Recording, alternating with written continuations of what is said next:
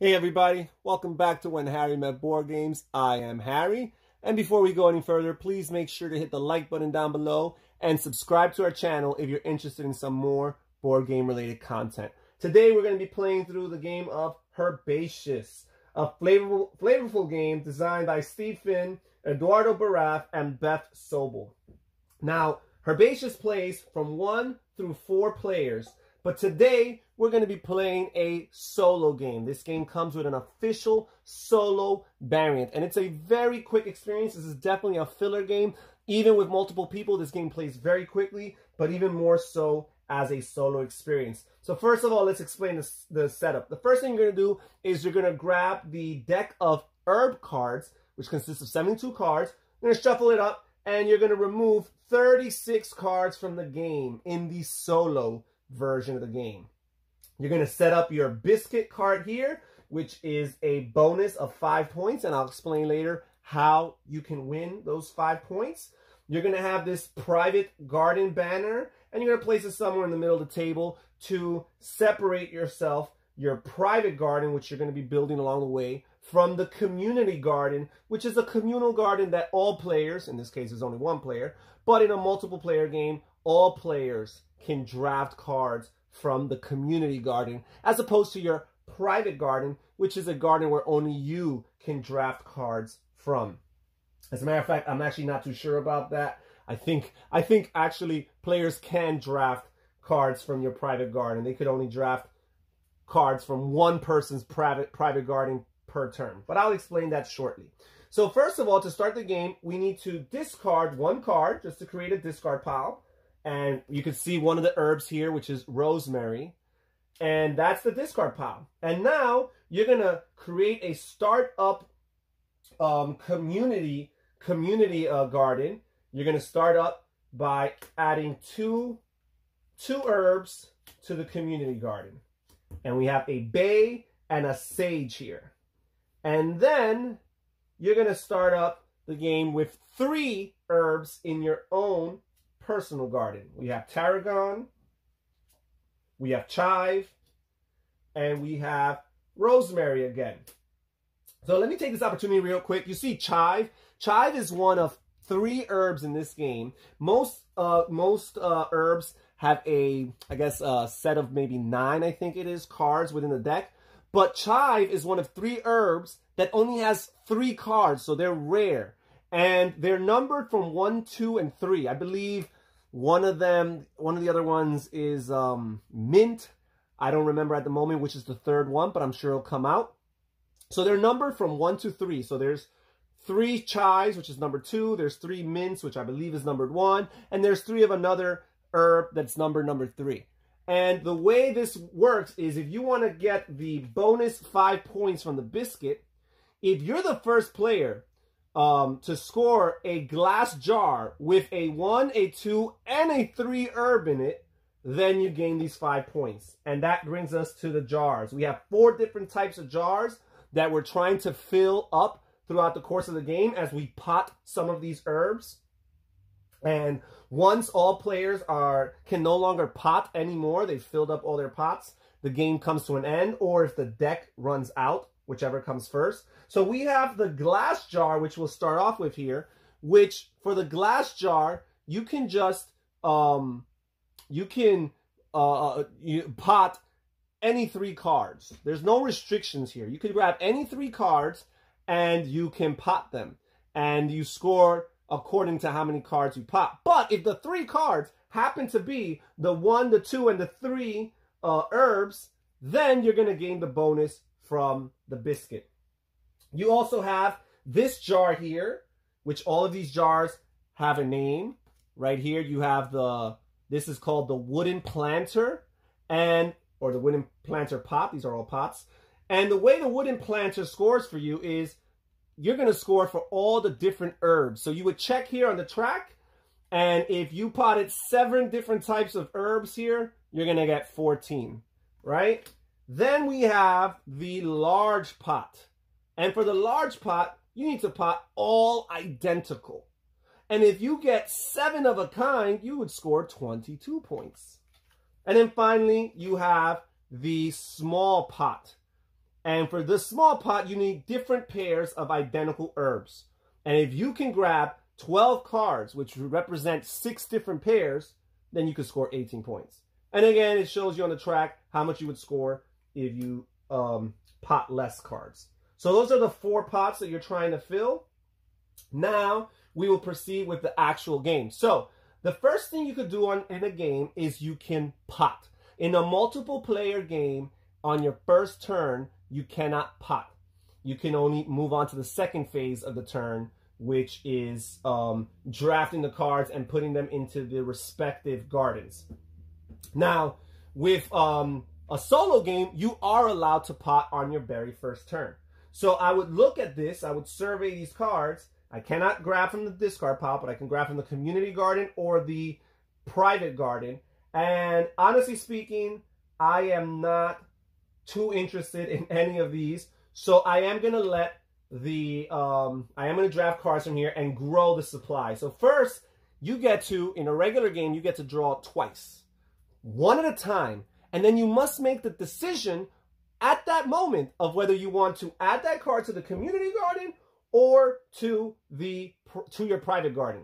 However, once you've made that decision, the second card you will draw, you have no decision. You have to put it on the opposite garden that you did not pick. In a solo game, you have three options. You get to draw three cards. One of them will be discarded. One of them will join the community garden, and one of them will join the private garden. And again, you must make that decision one at a time. It reminds me of a very neat mechanism from a game called Merchants of Amsterdam by Reiner Knizia, which I really, really appreciated. I appreciate the tension of having to make these decisions one at a time and wishing you had foresight as to what would the next card would be. But what you do have is you have process of elimination, right? You use probability to try to decipher what's going to come out next. So I'm going to draw these three cards and make these decisions one at a time. So first off, I have a dill. So I'm actually going to keep the dill somewhere because it is a different type of herb from the ones that are here. And I'm going to put it in my community garden here. Then I'm going to draw another card. Here's saffron. I cannot put this in my garden anymore, my private garden. I could either discard this or put it in the private garden, and, uh, in the community garden. And I'm actually going to choose to put it in the community garden because, again, it's a different herb from the ones that are out on display. And now this next card must be discarded. And it was another Saffron, and I'm okay with that. Saffron. Sorry, I pronounced it incorrectly. For any herbalists out there, saffron. All right, so we are done with this first round, and now we will proceed to the next round. Now, keep in mind a very important rule which adds tension, or else this game would be a piece of cake. In the solo variant, to kind of create that tension that would be created by the idea of other players who might take the cards you're interested in. Once the community garden ever reaches a fifth card, all of the cards are immediately discarded. So you cannot allow the community garden to go over four unless there's nothing there that you're interested in. Because again, they would all be discarded. So you probably want to pop cards before the garden gets to five. So right now we're not at threat at that. The next card is only going to put it at um, four. So um, I'm going to, now we move to the next turn. The first thing I decide before I draft cards again is to pop cards. And I could do one, two, three, four, five, six, seven different types of cards. Which for this garden here, um, the wooden planter, that is the maximum amount that I could score for anyways. Even though there's a few other gardens, I cannot score for more than that. However, I do have this chive here that I might want to keep around. So in in hindsight or looking forward, projecting forward, I probably want to find a way to keep this chive here available because again, there's only three chives in all the deck, and I shuffled out 36 cards, so it's possible that the other two chives aren't even in the game. So I'm actually not going to draft right now. I'm not going to pot anything right now. I'm just going to proceed to add into the different uh, gardens. And I have chive again, which I'm just going to keep right here. And that makes my decision about getting chive in the future a lot easier now that I know there's another chive. Um, or should I discard this? That's a tough one. This is a tough one. I might regret this. I'm going to keep the chive here. I'm going to keep it here. Okay. Then we have sage here. Okay. So sage is a multiple of one already. I'm going to discard the sage. And I'm going to draw the next one, and this one must be played in the community garden. And I got another bay, so I'm leaving the bay right there. Okay. All right, and now we are done with this turn. We proceed to the next turn, and again, I must make the decision of whether or not I want to pot. And I do, because after I draft an additional card to the community garden, it will be the fifth card, and it will trigger all of these other cards getting discarded. And I don't want that to happen. So instead, I'm going to grab seven different types. So I've got the chive here, the dill right here. I've got the tarragon right here. I've got the rosemary right there. I've got the bay. I've got the saffron.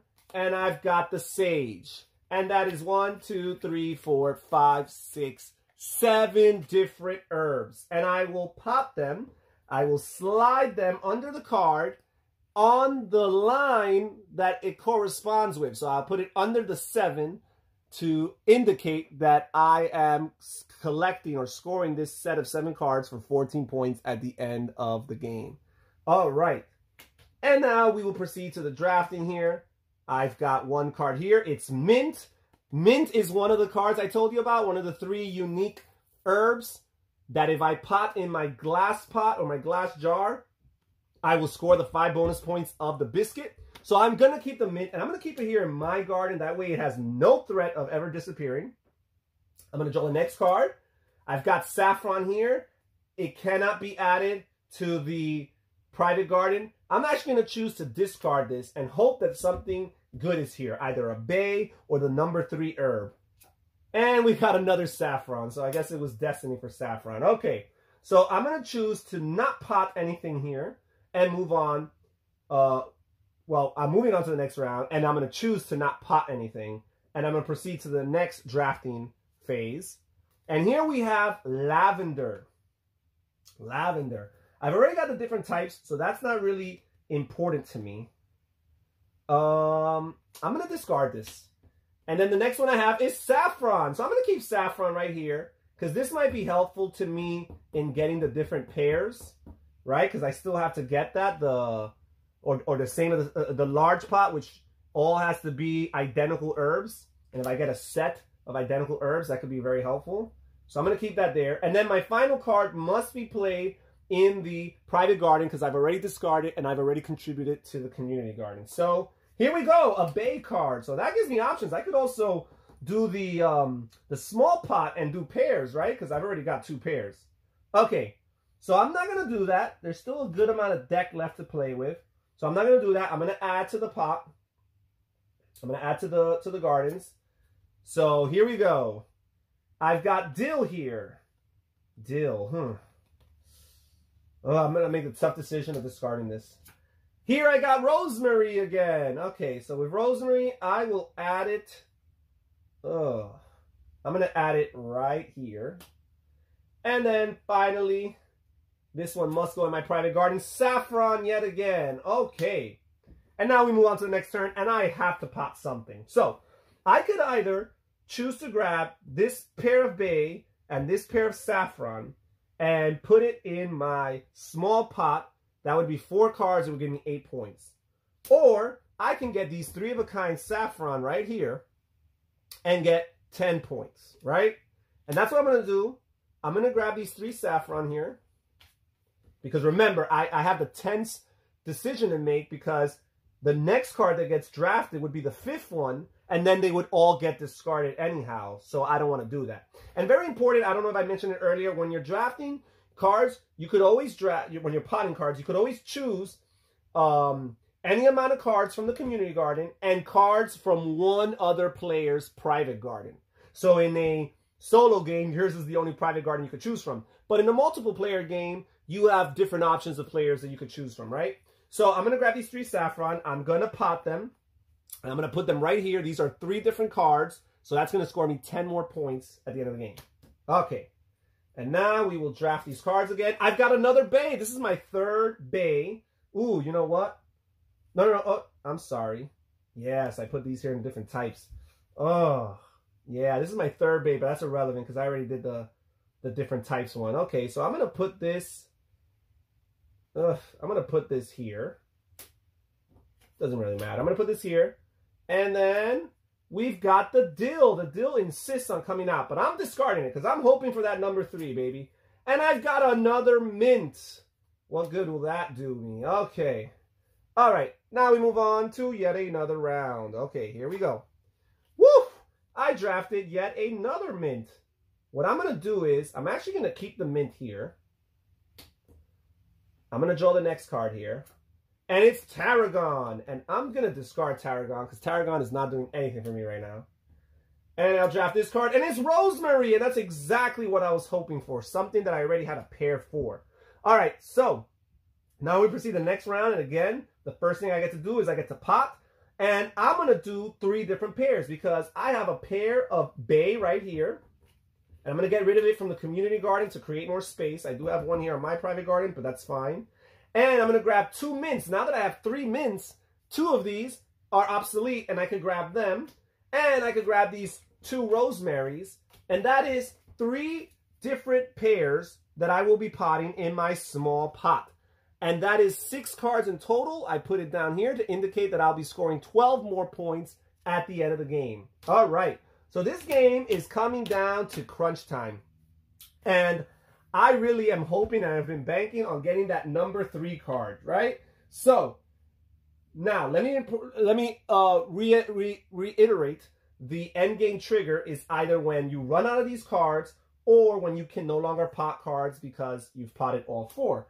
So if at the moment of the um, drafting card phase, phase number two in the turn order, there are no cards for you to be able to draft from, then you've lost. So you got that one last opportunity to pop cards right after you've run out of the deck, after you've exhausted the deck. So I got to keep an eye on the deck and see what I could do. All right, so I am not potting anything. I will be drafting the first card. This is Saffron, which is irrelevant for my purposes, so I will discard this. And then we have Sage. Okay. This is also irrelevant for my purposes. And then we have Saffron again. Ah, righties.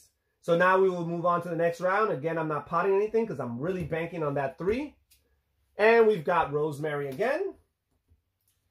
And we've got Sage again.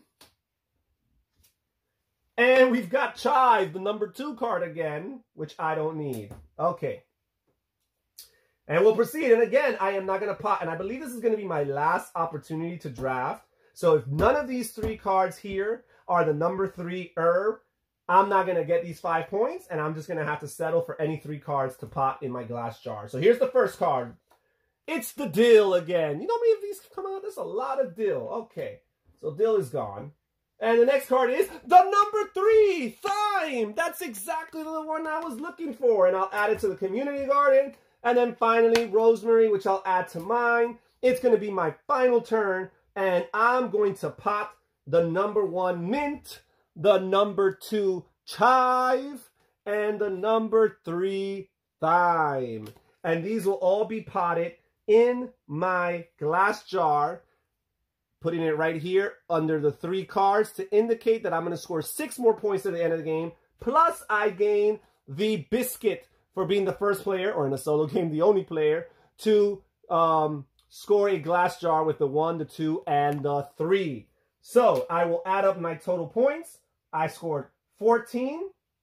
Um, here I scored 10. That's 24. Here I scored 12.